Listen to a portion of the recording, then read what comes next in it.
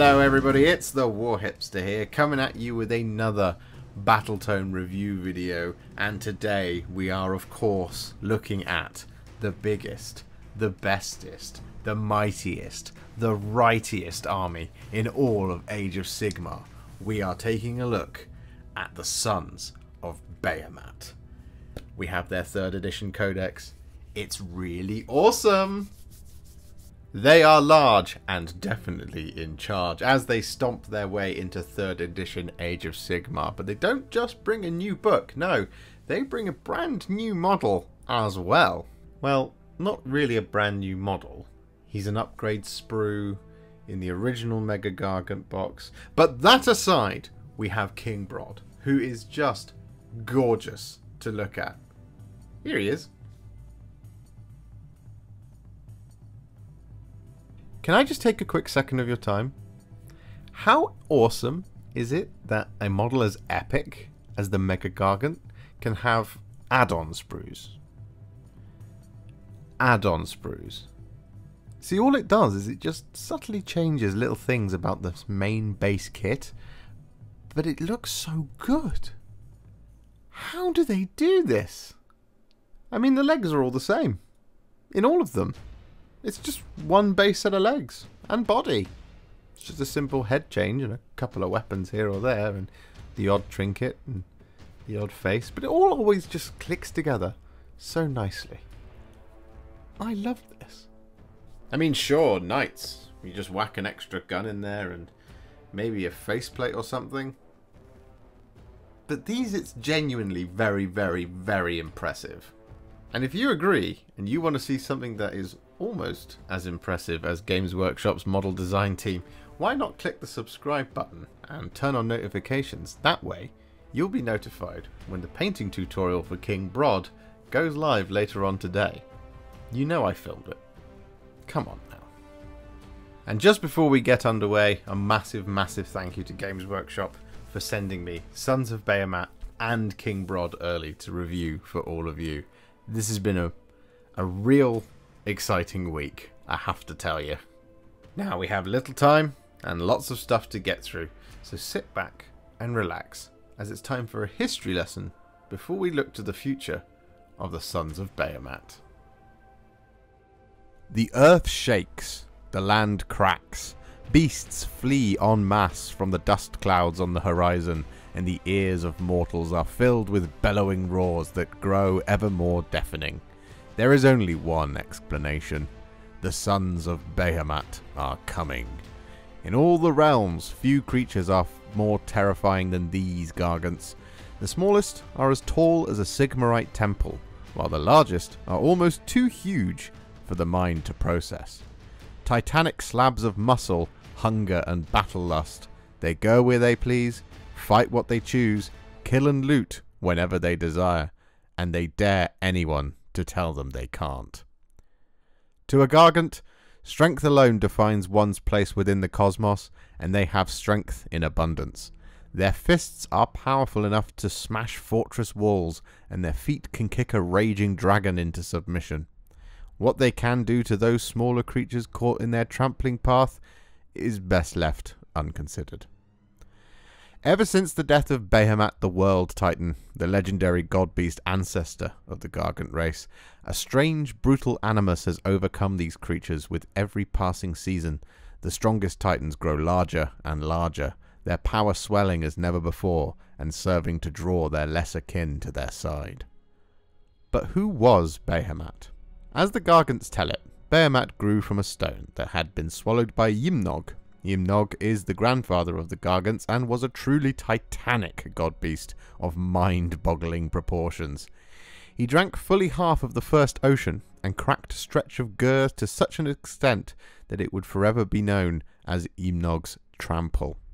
A figure of awe and terror even to Gargants, eventually he settled down to sleep, and it was then that Behemat and his brothers, yes, there were more than one mega titanic mega super giant gigant god beasts, brewed up a vast lake of foul, disgusting moonshine in Ymnog's stomach, so foul that even the grandfather of Gargants would be forced to vomit up his stomach contents, and this Behemat, Gorg, and Amagorag could escape. The other two succumbed to the vapours of the moonshine and ended up brawling with each other whilst Behemat made his escape. Behemat wasn't quick enough though, and Ymnog's mouth closed, and it was then that Behemat began to hammer away at Ymnog's teeth, and eventually the splintered teeth of Ymnog would form the first mountains of the realms. At least, that's how the Gargants tell it from time to time. What we do know of Behemat is that he was a carefree soul that roamed the mortal realms and did as he pleased when he pleased. He had the life that Gorka Morka craved instead of being beholden to Sigmar's pantheon of up-jumped mortal godlings. Gorka Morka was oath-bound to Sigmar's pantheon, however, but he longed for the freedom to unleash the joys of destruction on the mortal realms. Instead, he couldn't, at least for now. Gorka Morka spent the early days of the Age of Myth challenging Behemat to ever greater feats of strength, ones that Gorka Morka knew Behemat's pride wouldn't allow him to turn down. As an example, one story that is told by the Gargants of Behemat is as follows. After Gorka Morka slew a nest of rampaging Gigadroths, he challenged Behemat to block the supervolcano known as Volcatrix's lair from which the creatures emerged. The World Titan accomplished this by ripping the top off Mount Krolocid and using it to plug the volcano's caldera. When a horde of angry Duardins spilled out from the mountain, Behemat stomped them so flat that even their descendants have not recovered their former stature. Behemat was a real creature, but many of the stories could be considered fact or just the Gargant's way of explaining the world around them. They use the legends of Behemat to contextualize the mortal realms, so whilst it probably did happen. Behemat is not the reason Duardin are short, but he could be. Maybe?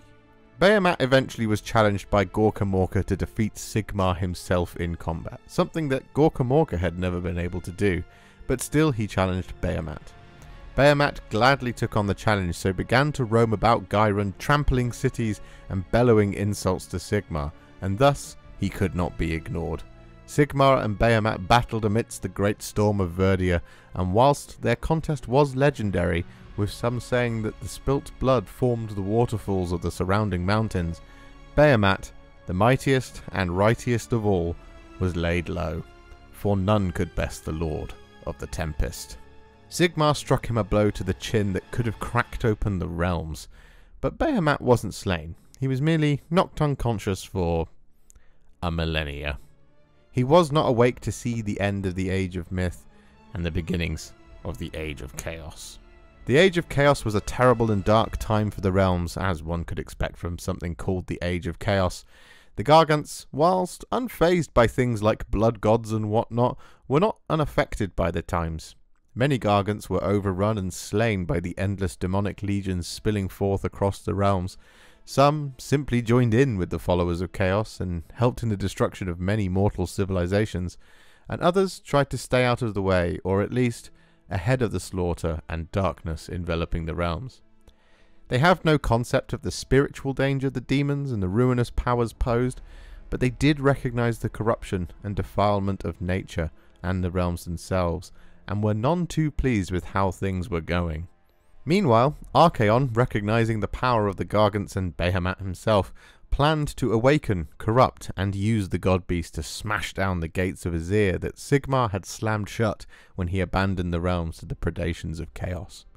A long plot to do just that was on the precipice of becoming a reality when the Stormcast Eternals arrived in the mortal realms. The Stormcasts attacked the Scabrous Sprawl, where Behemat slept, to undo the machinations of Archaon. Recognizing what they were attempting to do, King Brodd himself led the Gargants of Ghyran to assist the Stormcast Eternals in the fight against Chaos. And at the climax of the battle, the ground shook and split, and the immense form of Behemat began to rise at long last.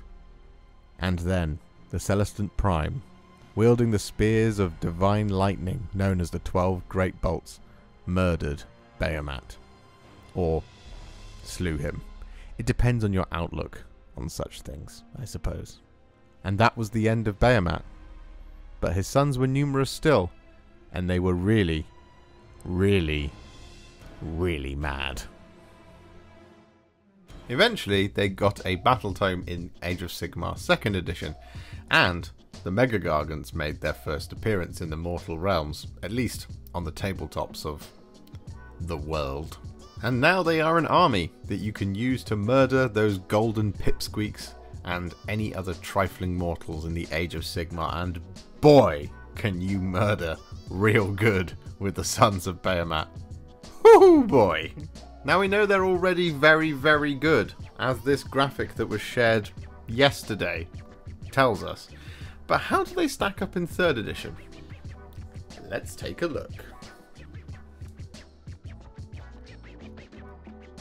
As per usual, each Age of Sigmar army has allegiance abilities, and these contain battle traits, enhancements, which are command traits and artifacts of power, and various other different things.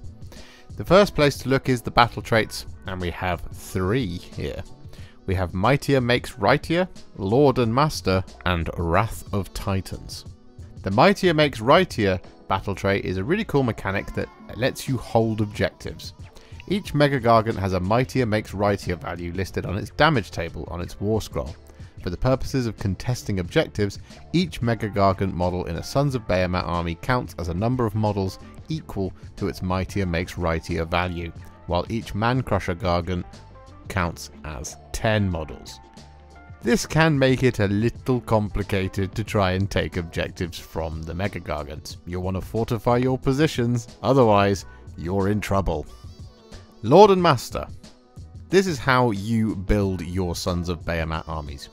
First, you must decide whether your Sons of Behemat army will be a Taker tribe, a Breaker tribe, a Smasher tribe, or a Stomper tribe. The type you pick dictates the general of your army as follows. A Taker tribe, your general must be a Kraken Eater. A Breaker tribe, your general must be a Gatebreaker. A Smasher tribe, your general must be a Beast Smasher. And a Stomper tribe, your general must be a War Stomper. Additional allegiance abilities are available to each type of Sons of Behemat army, on pages 64 to 67, which we will get to very, very shortly. The Wrath of Titans. When you carry out a monstrous rampage with a friendly Mega Gargant, you can carry out one of the monstrous rampages below instead of any other monstrous rampage you can carry out with that unit. So you have your generic ones, but you also get some specifics. You get Beast Grapple, which lets you pick one enemy monster within 3 inches of this unit and roll a dice, and on a 3 plus until the end of the following combat phase, the Strike Last effect applies to both that monster and the unit carrying out this monstrous rampage. This is very, very cool, especially if you're taking a mercenary Mega Gargant, eh? Earth Shaking Roar. Pick one enemy unit with a wounds characteristic of 1 or 2 within 3 inches of this unit and roll 2d6. If the roll is higher than that unit's bravery characteristic, for each point by which the roll exceeds the unit's bravery characteristic, one model in that unit flees. That unit's commanding player decides which models flee, and this effect of this monstrous rampage is not considered to be a battle shock test. So it affects anyone, even those who are afraid or unafraid of battle shock. Colossal Slam. Pick one enemy monster that is not part of a unit consisting of two or more models, and that is within one half inch of this unit. Roll a dice. On a 3 plus, you can remove that monster from the battlefield and set it up again anywhere wholly on open ground within half an inch of this unit. That monster suffers D3 mortal wounds. In addition, subtract 1 from hit rolls for attacks made by the unit carrying out this monstrous rampage until the end of the following combat phase. This is just fantastic for just moving monsters out of the way if they're blocking off an objective or a corridor or the rest of your opponent's army. I absolutely adore this. I think it's fantastic. Moving on to the enhancements then, we have the command traits. Now you get three generic ones, so anyone of your Mega Gargants can take this if they choose. And my favourite one here is Monstrously Tough. This general has a wounds characteristic of 40 instead of 35, which is just fantastic. Another honourable mention is Rabble Rouser, which adds 1 to charge rolls for friendly Sons of Behemat units wholly within 18 inches of this general, and Furious Temper is pretty cool, letting you act as if your general is at the top of their damage table once per battle. Moving on to the Titanic trophies, again, you have four generic ones here. My favourite one is Calloused Feet, or Extra Calloused Feet, which a model armed with an Almighty Stomp only. The Bearer's Almighty Stomp has an attacks characteristic of 3 instead of 2, a rend characteristic of minus 3 instead of minus 2, and a damage characteristic of 3 instead of D3. This is just very, very, very fun. The glowy shield of protectiness is pretty cool, changing a rend characteristic of minus 1 to dash. In addition, if the unmodified save roll for an attack made with a melee weapon that targets the bearer is 6, the attacking unit suffers one mortal wound after all of its attacks have been resolved, which is nice. And the Amber Bone Totem, which allows the bearer to a charge even if they ran in the same turn. Very, very, very cool. Then you have the four tribes, and each one has additional battle traits, enhancements, and artifacts. What you'll notice is that each of them gears you towards using Man Crusher Gargants, as the battle traits almost all benefit the Man Crushers, and the enhancements and that are of course geared towards your general, who will be one of the four variants of Mega Gargants.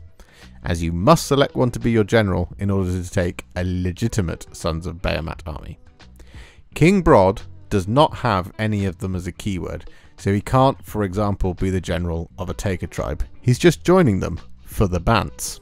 Now, whilst we're not going to read all of them, as they are all quite lengthy, as they all get battle traits, command traits, and artifacts of power, we are going to look at my favourite, and that is the Taker tribe.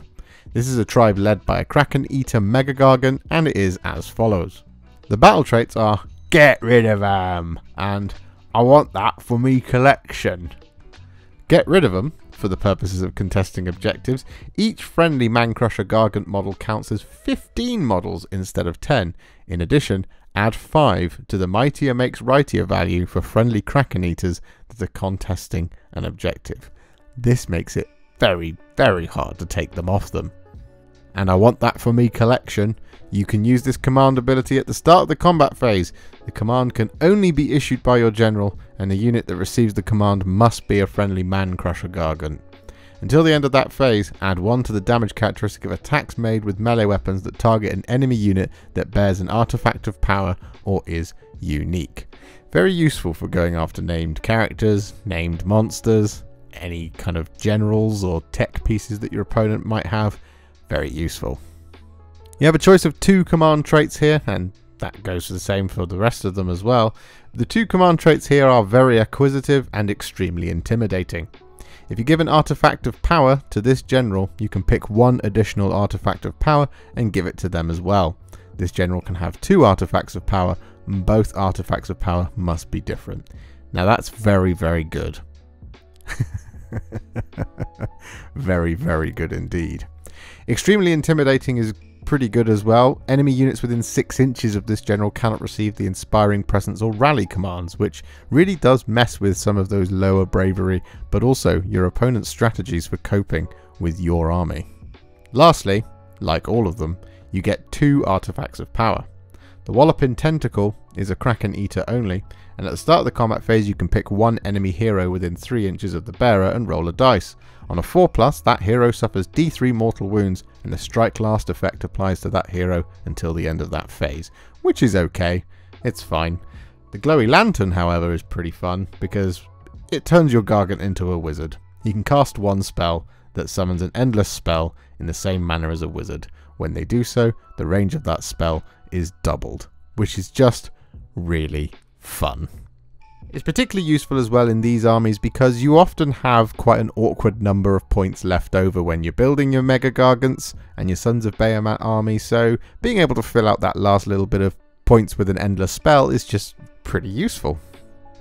Now the others all do different things, for example the Smasher tribe wants to smash monsters, the Stomper tribe wants to get stuck in with everyone at the same time, and the Breaker tribe wants to run dead quick with 3d6 charges, and they want to squish heroes, totems and monsters to varying degrees. They're all very good, and they all do different things, and they all do what they want to do very very well. The strength of this battle tome is in the War Scrolls. All the grand strategies, however, before we get to the War Scrolls are brilliant, and some are maybe a little too easy. Make the land tremble, for example. When the battle ends, you complete this grand strategy if any friendly units ran or made a charge move in every battle round. It does not have to be the same unit that runs or makes a charge move in every battle round. The battle tactics, on the other hand, are interesting as there's six of them. However, four of them are designed to be done by the corresponding tribe of Gargants. That's Mine involves kicking objectives, so the Kraken Eater does that. Man Skittles has the War Stomper keyword in it and everything, for example. So grand strategies are fairly easy, but the battle tactics are a little tougher, or at least your selection is narrower in this book.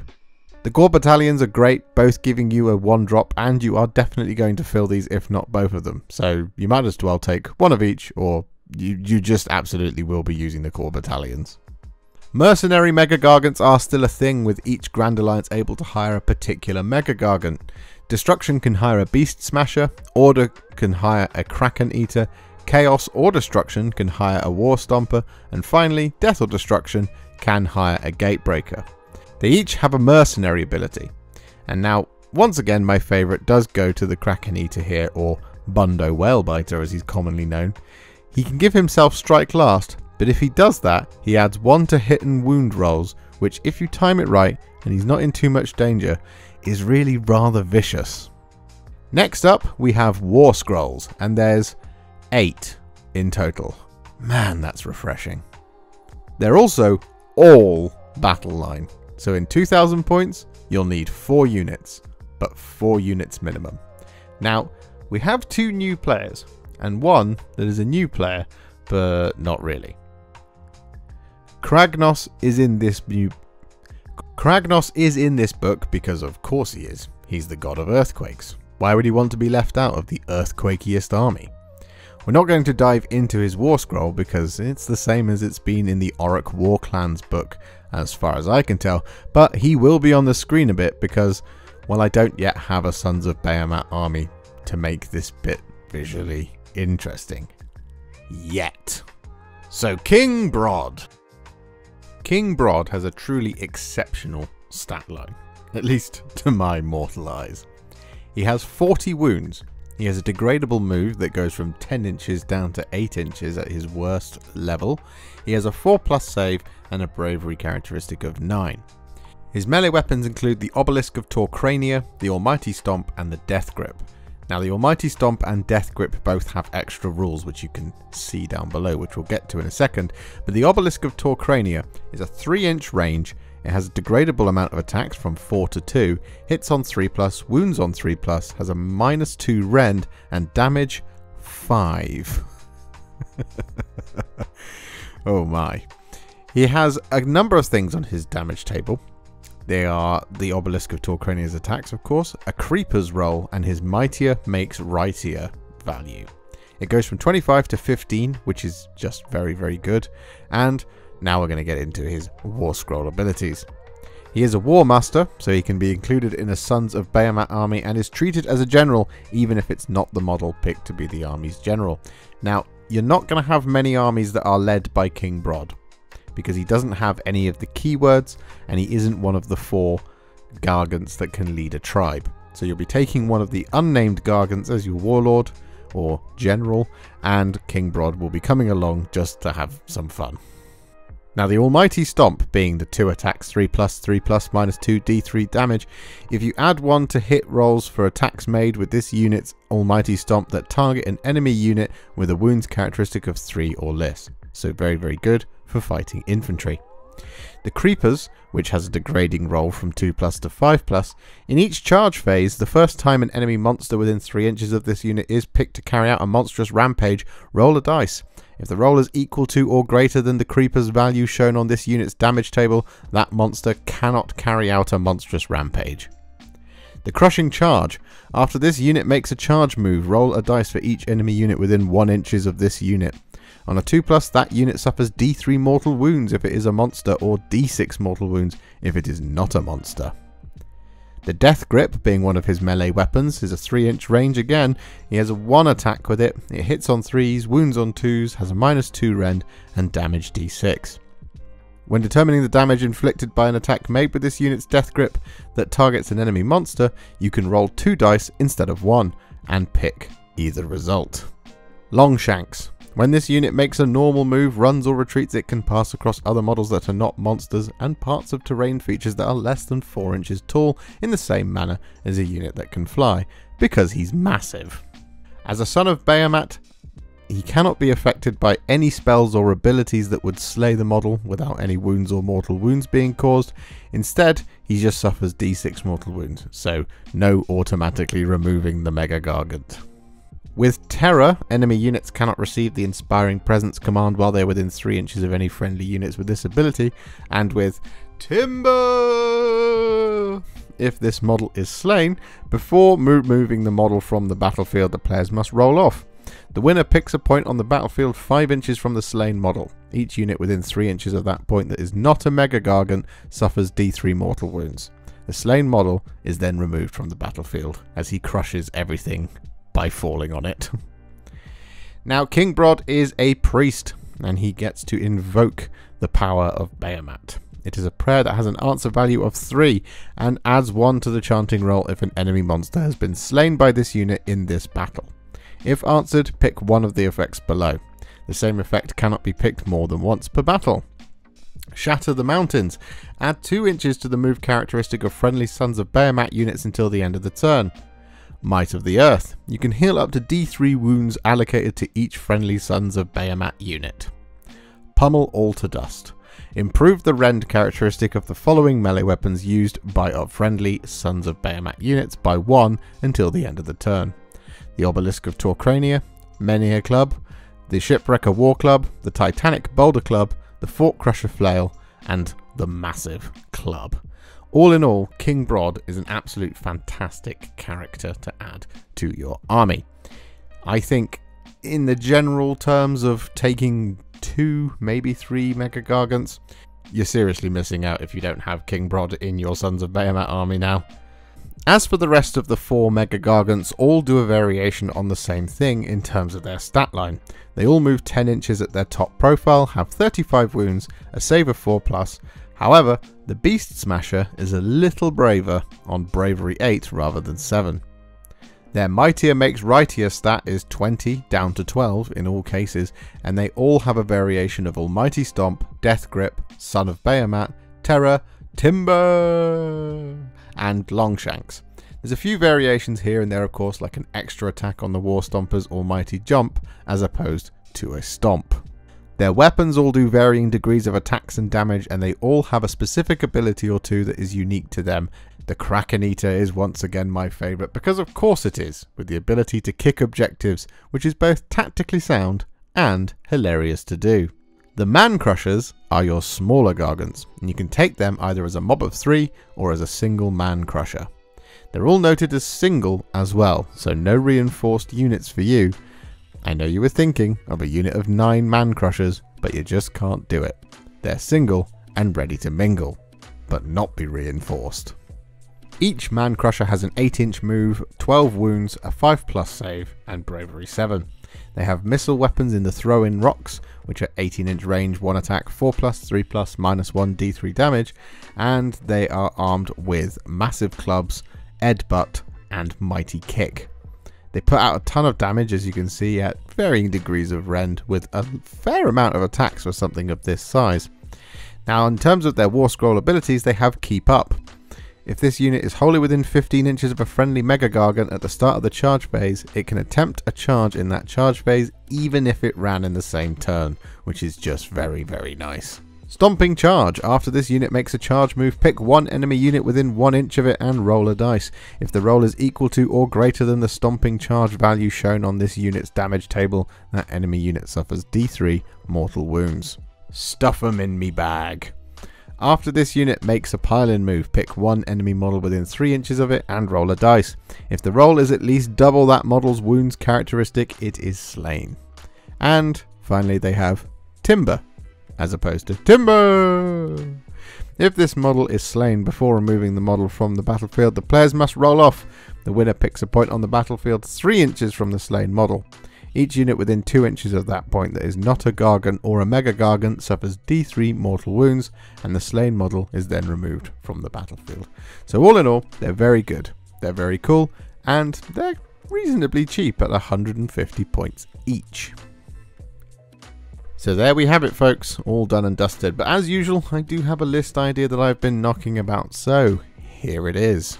It's a Taker tribe, No prizes for guessing that. And in this army we have King Brodd, we have a Kraken Eater Mega Gargant, and we have two Man Crusher mobs, each consisting of three Man Crushers. This lets me take advantage of both of the War Scroll battalions, i.e. the Man Crushers and the Mega Gargants, to two drops in total for this army. Now it's a little bit tricky to do a all of it into one. You could take all Mega Gargants, you could take three Man Crusher mobs and a Mega Gargant, but then you would be missing out on King Brodd.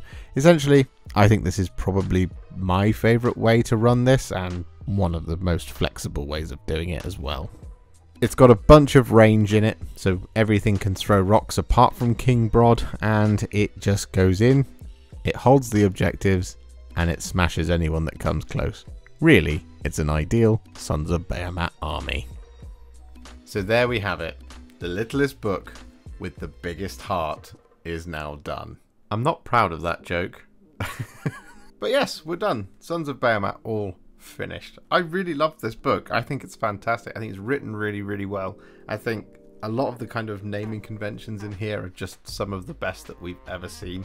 And there's a lot of personality in this book. It's just a cracking read. Really, really good fun. I highly recommend picking it up just to read about them. Their stories are amazing, as I alluded to earlier in the video. And, well, you can't really go wrong with having a big gigantic centerpiece in your army. Depending on which Grand Alliance that you take or are in fascinated with, you could have a Mega Gargant and just go on about your business. But this book, absolutely well worth picking up for the casual and serious fan alike. I think they're very powerful. I think there's a lot of play here in the book. I think maybe they might go straight to the top of the meta, as they already kind of sit there anyway, but we shall see, of course. I really like the interactions between the Mega Gargants and the Man Crushers. They've really kind of dialed into that in this book, which is really cool. You can see a lot more variation, I think, than the, you know, Gatebreaker spam that you kind of see at the moment. But thank you so much for watching. I hope you enjoyed this one and I'll see you all very, very soon for more Battletome review videos and of course more painting tutorials do make sure you are subscribed so you can check out the King Brodd video later on. I'm really excited to show that one to all of you. Just an absolutely fantastic model. And that's it. I'll see you all very, very soon. Happy wargaming.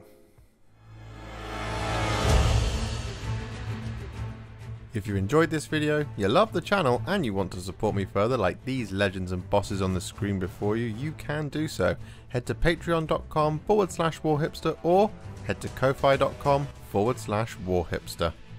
Alternatively, you could become a YouTube member by heading to the channel page and clicking on the join button just here, just like these amazing, wonderful people have done. And if you really like this video or you just want to shoot me some support, you can click on the thanks button just below this video. Don't forget to share it, like it, comment on it, and don't forget to subscribe to the channel. And to make sure you stay up to date, don't forget to click the bell icon. Thank you so much for watching, and I'll see you all very soon in the next one. Happy Wargaming.